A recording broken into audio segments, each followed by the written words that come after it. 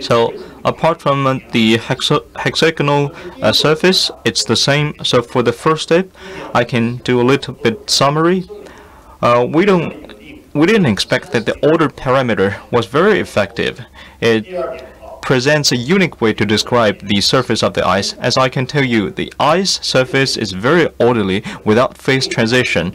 In other words, I expectedly the ice surface is even uh, orderly than you thought. You just uh, put your hand on it and arrange it. So it's not like the surface of other semiconductors.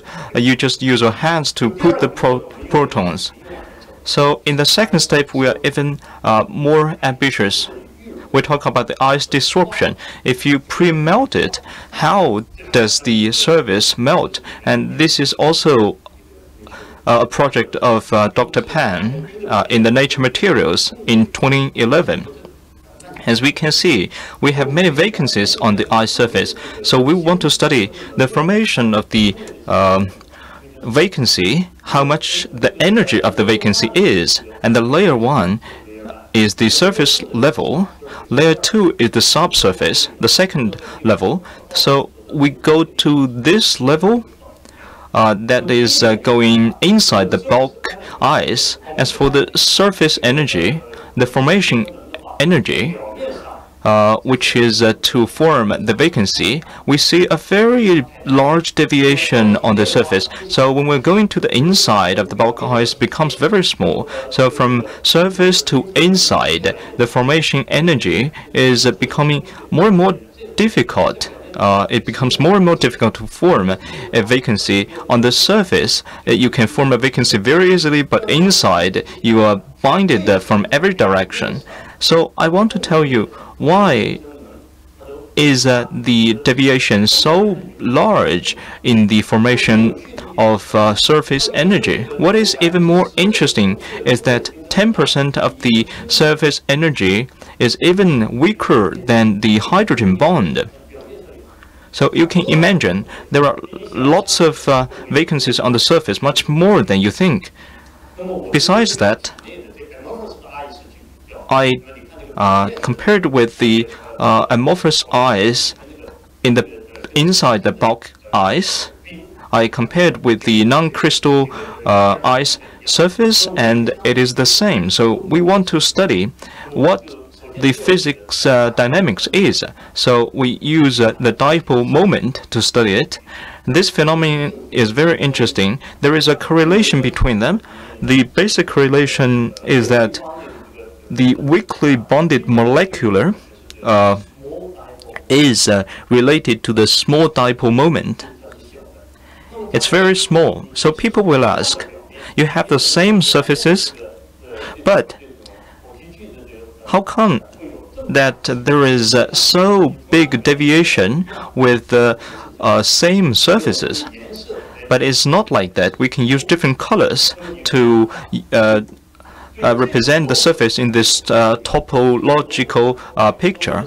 And for the local environment, we can take out the four water molecules, and the four molecules form a local electron field. And these three are positive and these three are negative. So the lo local uh, electric uh, field is pointing this direction. For the dipole moment, you can see it's directing to uh, this place. And for the two nucleus, they are positive. For the two hydrogen uh, molecules, they are negative. So you can see it's against the field. And under these circumstances, the dipole is very low, which is represented in red color. And let's look at another water molecule. It's this one. We take it out, and we can see the dipole is directing to this place, and it's positive. The average uh, local uh, field is pointing this direction and it is the same direction with the uh, central uh, concentration of the water molecule with higher dipole, namely the gray color. So for the surface of the same bulk ice, the local electric field will have an impact on the dipole change. So it represents a totally different uh, physics uh, dynamics. So uh, let me put a formula like this. We have a water molecule here or other atom here falling on the surface. On the first step, it takes out the water molecule from this place and uh, put it back to the trapped place, and this is what the formula represents. There are all kinds of uh, smaller molecules. For for example, this is hydrogen sulfur, and this uh, relates to hydrogen chloride, and this is uh, hydrogen fluoride. So from this point, you can see these two things are more active than the ice. So once they fall onto the surface of the ice, they can take the water molecule out from the ice surface and they themselves will fall down. So in the uh, upper place, it's uh, very active, but it, it doesn't work. And this will not uh, substitute. It's very interesting. So it's more like to form the little ice crystal in the upper atmosphere and we can go even uh, more we can far we can go even far in the uh, future articles we can study its impact on the air pollution it is actually very interesting so Besides, I want to say that later we found that on the ice surface, if there is another vacancy, the neighbor uh, water molecule will be very likely to form another vacancy. So this phenomenon comes out. It's like a domino effect. One uh, falls down and the other falls down together. So the melting temperature is increased.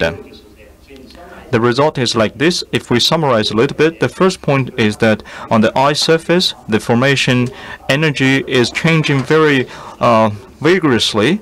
The reason is that we have a local electric field and uh, the electric field will be different with different water molecules. So on the ice surface, it's more like a Simmons bed, which you have used for a very long time, and the springs are placed in a very disorderly manner. It's not a new bed, for the new bed, the springs are all erecting up and you sleep on that uh, very comfortably. But if you used it for a very long time, the springs were broken and uh, unevenly distributed. So for this reason, the vacancies on the surface are even uh, more than you think. This is the reason of the pre-melting uh, of the experiment. So for the third step, we take a step further if uh, there are different local electron fields, if we have another water molecule, will it have an impact on its absorption?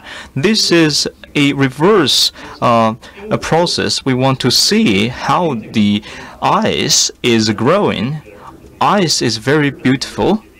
We read uh, a book uh, written by a Japanese person, and he says uh, the the ice knows the not the ice will tell you many things.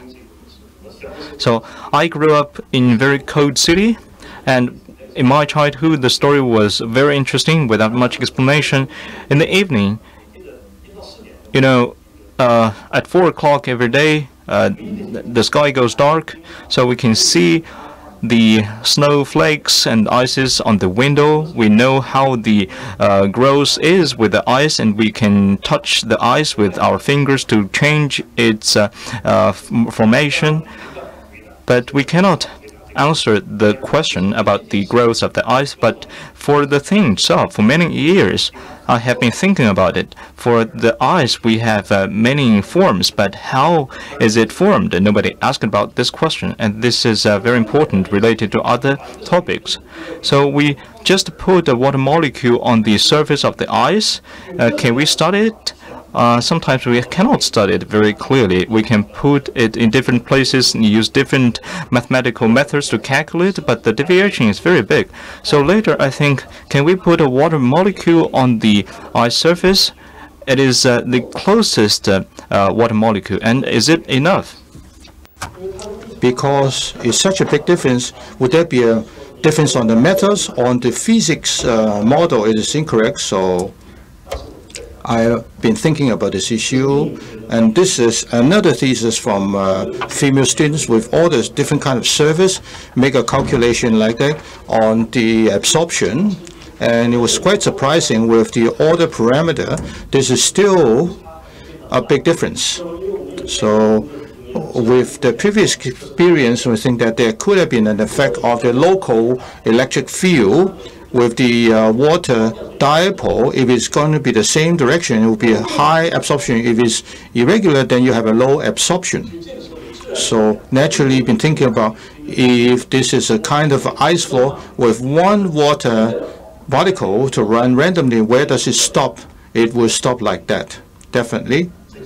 And this is what uh, we imagine. And second is that we make some detail uh, making and on the local electric field with a kind of a long range, at least there will be a kind of a 10 Angstrom and then becomes a little bit stabilized. And this is already uh, exceeding our electric field. So on those early works, why is such a kind of a big difference? Because you did not have good consideration on your physics models. And then we're not uh, going to spend some time, but generally it is the order parameter to affect the uh, absorption via the electric field. We have also have another kind of experiment, and this is on the side view of the surface of the eyes all the way to the body, and on top I threw some of the water molecules like that, 13 of them on the surface, and this is on the top view, all of the water particles, uh, molecules on the surface with a height like that, coming to the surface with uh, 50K with um, 2 ns nanoseconds, then where did they stop? A few spots like that after equilibration. This is the, the strongest part of the local electric field. So it opens uh, with our theory or the hypothesis. Other than the water particles on the eye surface, what about the other molecules? One example is the uh, hydrogen sulfide. As you can see, these are the same order with the order parameters on the surface of the ice. Once you throw it, you can estimate the distribution. So again, on the local electric field, not only on the water molecules, but also on such other um, polar molecules. In fact, the work will give you some inspiration that how the ice grows bigger and bigger and then they're looking for the strongest local uh, electric field if you have a kind of regular with a cross line or a certain pattern on top of the line with the uh, local electric field and then the water molecule will base on this with this kind of a controlled growth. And that is going to be in interesting. So this is approximately my presentation like that. Uh, what did I tell? Also the order parameter. The order parameter is a very unique and sensitive way to describe the proton ordering on the eye surface and uh, then you can tell that it will in reaction of the water or as a kind of molecular absorption on the chiral together with the desorption on the ice surface. So I like this quote, simple things done right you don't have to do something uh, more complicated. So we're doing some simple things, and that will be good. I really acknowledge my two students, two very outstanding and smart students. And this is uh, Sun Zhaoru. She is still carrying on the research. Uh, Pan Ding is also doing a great job. This is my long-term collaborators, very outstanding partners. And I wish City University a 30th anniversary.